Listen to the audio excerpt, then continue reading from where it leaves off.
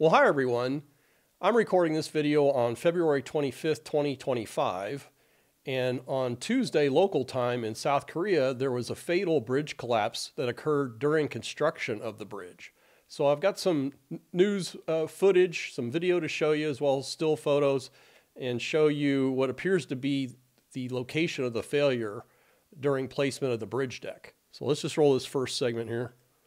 You can see the bridge collapsing here. It's got a gantry was used to lift sections, precast concrete sections of the bridge deck and lowered in place over the piers. That gantry collapsed and fell on top of the piers with the rest of the bridge deck falling to the ground. There were 10 workers that were on top of the deck when this occurred and uh, four of them are, uh, died and a number of others are in critical condition. So we're talking about this location, Anseong, which is about 40 miles south southeast of Seoul, South Korea. As I mentioned, it occurred 9:49 a.m. local time Tuesday, so today, so earlier in the morning if you're in North America. Now this article says that the gantry is what collapsed.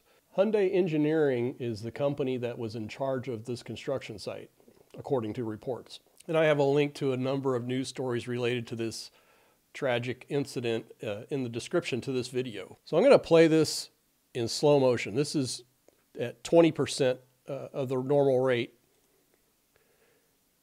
And it looks to me like the bridge deck is what collapsed.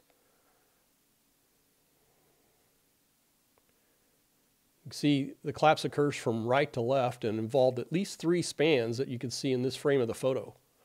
So I'll play this through here.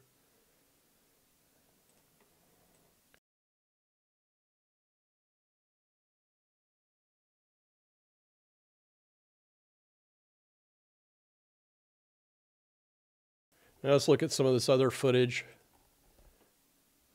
It's just a disaster.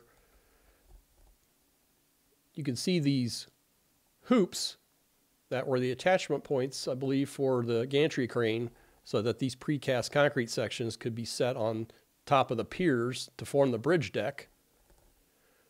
I don't see any indication that these were to be post-tensioned, but there haven't been a lot of details released about this so far just a mass of debris.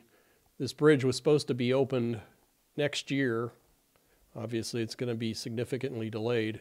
You know, Korea, South Korea has a slew of construction related deaths each year at a rate far higher than what you would expect for an industrialized society. You know, working construction in any country uh, can be quite dangerous, including here in the United States.